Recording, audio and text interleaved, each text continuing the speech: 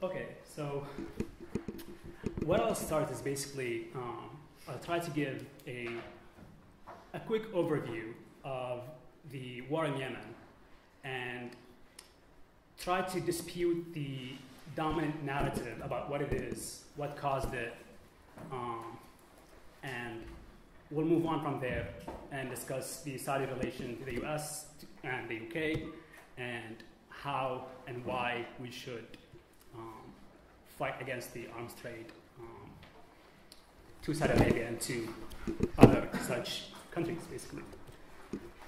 First off, the, the current conflict in Yemen has been falsely labeled as a proxy war between uh, Saudi Arabia and Iran, uh, whereas the Saudis have their own quote unquote Sunni forces on the ground, while the Iranians have their own quote unquote Shi'i forces on the ground.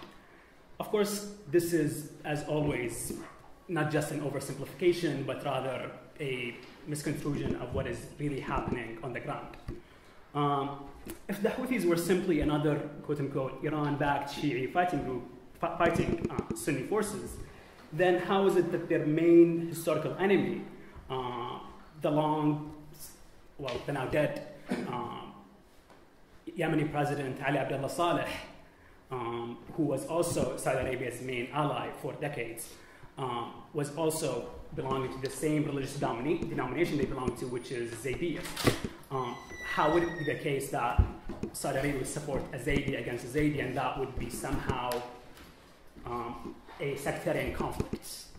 Um, the thing is, is that Ansar Allah, like any other militia usually in the world, uh, they were not engaging in nearly two decade long conflict on behalf of Iran, but rather due to local grievances and conflicts, which only recently, recently came to be portrayed in the hegemonic discourse of the region at the moment, which is sectarian discourse. Um, what really distinguishes uh, Ansar Allah or Al Houthi, however, from other Iranian backed uh, Shia militias uh, is that they're neither ideologically nor institutionally uh, affiliated with Iran, at least on a fundamental level. Not only do they not believe in Wilayat al Faqih, you know, the supreme leadership of um, Ali Khamenei, like Hezbollah, for example, um, they do not even belong to the same religious denomination of Twelver Shia that actually, um, you know, that has that political tendency. Their political project can, can only be accurately defined as by, by what they oppose, actually, which is uh, Saudi American domination over Yemen. And until the most recent war, they sourced their weapons actually either from the Yemeni black market or uh, from factions of the Yemeni army itself. And that's, that's a long story on its own, but I'm not, I'm not going to get into that. Even actually in 2004, the US Embassy cable, cable kind of was, a US Embassy cable leaked by, leaked by WikiLeaks actually details that distinction, uh, stating that Yemeni government continues to characterize the Houthis as a radical Shia group that takes issue with the government for sectarian reasons rather than, than for legitimate political grievances. And the Yemeni government uh, of Ali Abdullah Saleh was using that rhetoric like any US ally, basically, which was the war on, war on terror rhetoric to justify their own you know, local campaign of repression.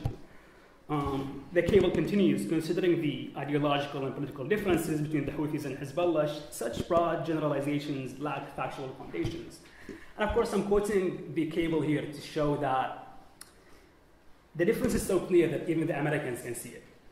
You know? And that is something that is quite rare, actually. Um, so, what is the Houthi group? Uh, so, the Houthis were founded in the early 90s by Hussein Badruddin al Houthi, who's, a, who's a, a Zaydi religious and political figure in Sa'da in, Yemen, in northern Yemen to counter Saudi, Saudi funded uh, Salafi slash Wahhabi uh, proselytizing efforts that depicted Zaydis as enemies of Islam. Uh, the group itself was mainly Zaydi, but was not solely so, since Yemen's, even, even Yemen's Sunni population are mostly Shafi'iyya, and the Zaydiyya and the Shafi'iyya are actually very kind of uh, similar despite nominally, nominally belonging to different, different you know, schools of thought, basically, uh, in Islam. And the Shafi'iyya don't really have that well inside Saudi Arabia either. Uh, that's kind of one thing to know, because these things tend to be more complex than they usually are portrayed. So, the Yemeni government of Ali Abdullah Saleh um, has greenlit those efforts not due to, to ideological identification, Uh, in fact, in the 80s, uh, Saleh's General, General People's Congress had contacted the Houthi family precisely because they feared this uh, Saudi kind of infiltration of the country. Uh, however, the later alliance between Saleh and Saudi Arabia, along with severe political and econ- economic marginalization of the far north- northern regions, resulted in a conflict between the central government, backed by Saudi Arabia and the US, and the soon to become militia made up of marginalized communities in the north. Um, so this proxy war framework does not really reflect um, the, the agendas of the local parties involved in this conflict. Even um, so, after the Saudi-backed Yemeni president uh, Abdul Mansour Hadi fled Sana'a after the, the Houthi Saleh alliance took, took it over in 2015 to the southern city of Yemen, the southern Yemeni forces only backed him in opposition to Saleh in an incoming northern offensive. Uh, while Hadi is still portrayed until this day as you know, the legitimate president uh, of all of Yemen, uh, the UAE backed and the Saudi and UAE backed Southern Transitional, Transitional Council has declared that they would end uh, the Hadi uh, rule over the South. So clearly, those forces, forces on the ground that are backed by Saudi Arabia and, and the UAE are not really in line with the Saudi project itself, but rather have their own local agenda that is based on their own cons- cons- constituency that they need to respond to, basically, which is which goes the same way for the Houthis themselves. Um, so this kind of maintains. This doesn't answer the question of why would the richest Arab country be waging war against the poorest Arab country in the region. Um, in order to kind of answer this question, I need to first lay out the, the nature of Saudi Arabia's relation to Yemen, um, which did not really, you know, this kind of aggressive uh, relation towards Yemen hasn't really begun in 2015, but rather, rather went on long ago, uh, until at least like the, the 60s when the Saudi government supported the Mutawakkili kingdom, which was, again, uh, a Zaydi kingdom, against the rising uh, United Arab Republic backed republicanist coup. The establishment of a republican system of government in Yemen was in itself seen as a threat in an otherwise monarchist peninsula.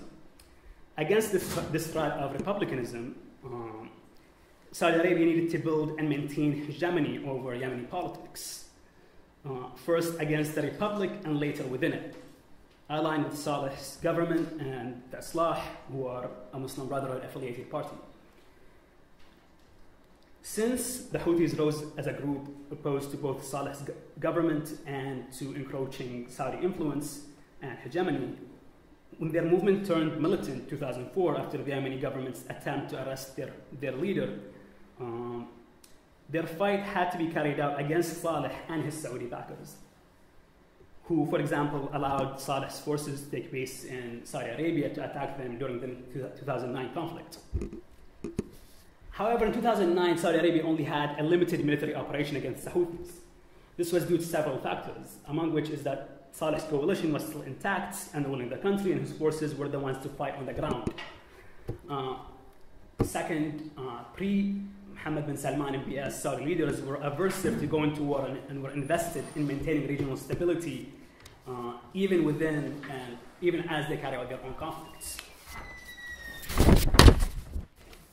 Third, Saudi Arabia never had, nor does it have at the moment, a military capable of engaging in, in all-out all-out war.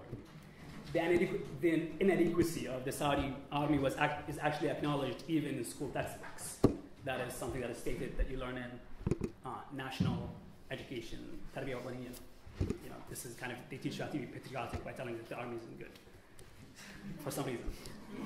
Uh, in, in the 2009 war, actually, the Saudi forces are said to have simply refused to go to battle on the ground, not due to any principled anti-war sentiments, but because the Saudi military was never made to go to war, but rather as a body to maintain loyalty of people uh, with certain tribal affiliations through the, through the distribution of oil rights. Uh, in general, men joined the army with the expectation that they would never go to war. And so when they were sent to war, they were like, no, Like we're not, we're not, we didn't do this to die. We did, we did this to get some money. Um, the Saudi monarchy is, in this sense, like many other uh, Arab monarchies that were founded in the post-colonial era. They saw the fate of other monarchies being overthrown by Republican military officers all around them. Saudi Arabia had even its own experience of pro-Nasser officers attempting a coup. This was coupled with Saudi Arabia's founding mythology as putting an end to tribalism and tribal warfare, quote unquote, which are all mythologies, but we're not going to get into that. Um, and starting an era of modernity, welfare, and progress that, were, that was not, you know, rife with conflicts, basically. Thus, the Saudi ruling class relies on Western armies as its last resort uh, bulwark against challenges to its rule, therefore establishing not only a relation of dependency to the West, particularly the US, but also the dynamics through which uh, it has to exist and act within the American sphere of interest in the region. And in stark contradiction to people's right to self determination, both domestically and regionally. So, the 2005 decisive storm was uh, MBS's war, but it is an expression of this overarching Saudi imperialist relation towards Yemen, which is, again, a mediated expression of American Western imperialist uh, presence in the region. Um, Bin Salman was at the time an obscure figure who was recently appointed, appointed as deputy crown prince and was completely overshadowed by his elder cousin and much more powerful at the time, now former uh, crown prince Mohammed bin Nayef. Bin Salman utilized this war to raise his profile as a powerful player, both domestically and regionally, attempting to prove himself to the Americans and to the West in general as Saudi Arabia's next leader, which he did become. Not due to his own wits, but because of the fact that his father is the king and he has the last word. When the war started, hold on, I think I myself here. Um, when the war started, Bin Salman was so obscure, we had no clue what to expect from him. Now it's becoming so clear that he's just, he has no idea what, what he's doing, and so we still cannot really expect anything that he does. Um, he very quickly gave us a glimpse, though, of what to come. He declared an international coalition to fight alongside Saudi Arabia and Yemen. We were caught by surprise, actually. Uh, at the number of countries who seemed willing to partake in the war. Turns out several of those countries were also caught by surprise because they never actually agreed to do so. Uh, having earlier stated that the Houthi forces would, be, would be eradic- eradicated within a few weeks, he announced the end of decisive, decisive storm and began, began the operation of, that's, it was called Restoring Hope, which was supposed to be a humanitarian, humanitarian operation. Four years have passed. Uh, the Houthis have, gone, have grown more powerful and gained popular support. Uh, and MBS is using his, what seems to be his last card on the ground, which is the mass starvation of Yemenis. Since the start of this war, actually, um, around 100,000 Yemenis have died, mainly because of the Saudi blockade. 50,000 of, of them are children who died from starvation in 2018 alone. At the moment, nearly 2 million Yemeni children are, quote unquote, severely malnourished, meaning that they suffer from this process of mass starvation. Um, Al Bashir's government in Sudan was one of the few countries that actually agreed to partake in this genocidal war providing uh, the Janjaweed as a mercenary force to support Saudi Arabia on the ground. The presence of the Janjaweed may not have caused any radical shift in battlegrounds, but that does not make them any less significant for Saudi Arabia, the UAE, and initially Qatar, who was participating in the war before its dispute with Saudi Arabia who needed an, an force they can command and rely on to carry out, to carry out counter revolutionary efforts, not just in Yemen, but also uh, across the region. On the air, uh, the US and the UK have been and continue to provide essential logistical support to maintain Saudi aggression. To sort of emphasize, the reason why MBS is resorting to genocidal mass starvation is because it is the only pathway he has to have a word in whatever peace process ensues between the conflicting parties in Yemen. Since even the forces himself and the UAE are backing are not really subservient to, to his agenda. They have their own agendas on the ground that they carry out with relative autonomy because of their popular base of support. Lifting the blockade has been made, along with ending this genocidal murder, has, has been made cent- central to any negotiation efforts, make, giving him a hand in any kind of you know, results that might come about. Alongside this war in Yemen, MBS has launched his own wars on the domestic front. First, targeting hundreds of princes and business people associated with the old regime before he came to power, who, who are said to have actually attempted a coup against him. Uh, then, targeting people associated with the Muslim Brotherhood, which made it seem like he would take Saudi liberals as his base. But then he targeted those two, and now he basically has no base other than using mass, mass scale fascistic repression, actually, uh, leading to mass scale migration at the moment, like skyrocketing, skyrocketing levels of migration and asylum seekers abroad. The problem with MBS is that he actually believes Western portrayal of Saudi Arabia as quote unquote an absolute monarchy and, and sees himself as an absolute as an absolute ruler. The thing is, is that such absolute monarchies do not exist and perhaps have never existed. Any sustainable state project uh, requires a certain system of representation, and, that, and, and, such systems are not always parliamentarian systems or anything. As such, rather, sometimes can be made through modern tri- tribal affiliations and such kind of expressions of basically tribes that have been transformed by the modern state have become modern tribes, tribes do not really you know, resemble anything. Um, that we have seen in the, in the past. Um, this is a completely different thing, but I just want to kind of make that clear over why uh, he doesn't really get what is happening in his own country and how to actually rule and maintain um, legitimacy within the country, even. However, the reason why the royal family has the power that it does in the country, which it does have a lot of power, isn't because of some very kind of vague or like un, like kind of incomprehensible system of government uh, that leads to just one family having this uh, this much power, but rather because they, they do control the country's main capital, uh, oil, and the rest of like the country's capital is actually dependent on, on, that, on that oil uh, per design. And giving any kind of power to other capitals would, would mean that their own would diminish. So when he first came to power, he was hailed in Western media and by Western governments as a reformer, described positively as a millennial, actually, which is quite surprising for us. Uh, even Thomas Friedman, Friedman going so far as to say that only an idiot would not support uh, MBS. You know, we're not going to get into that, but he even called people who opposed him, Friedman called people who said he's wrong idiots. Uh, so were they all fooled, basically? Like, were, was all Western media kind of fooled by what he was saying? If so, were they fooled every single time a new king came to power in Saudi Arabia?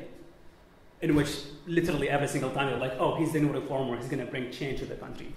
Or were they, ch- or were they justifying to themselves and to their audiences uh, Western relation, Western relation to Saudi Arabia as a, as a, as a severely repressive state?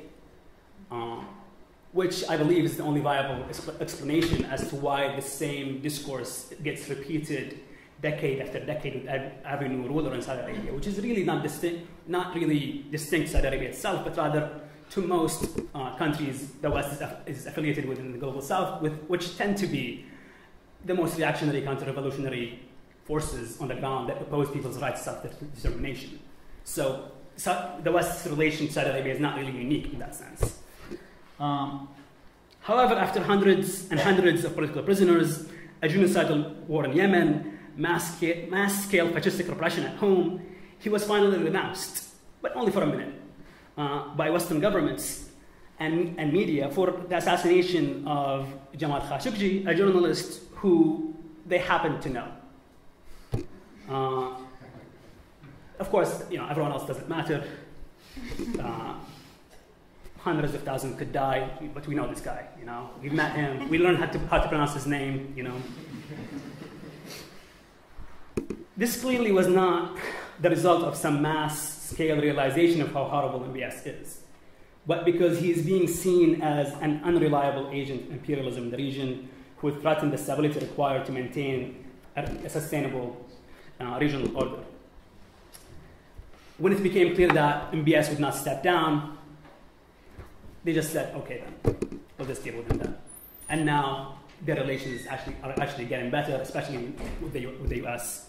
Uh, I know that, like in the UK and other places, things are more complex.